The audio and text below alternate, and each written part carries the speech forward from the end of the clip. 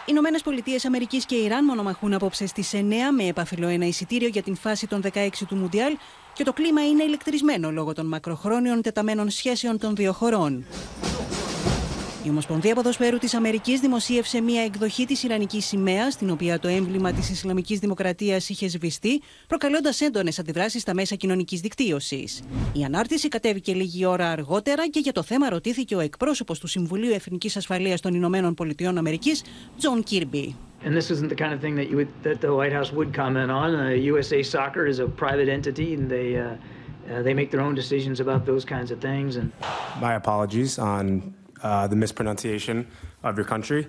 Um, yeah, that being said, you know, there's discrimination uh, everywhere you go. Διαμαρτυρώμενοι για την κατάσταση που επικρατεί στη χώρα τους μετά τη δολοφονία της Μάχσα Αμίνη επειδή δεν φορούσε με τον σωστό τρόπο το χιτζάπ.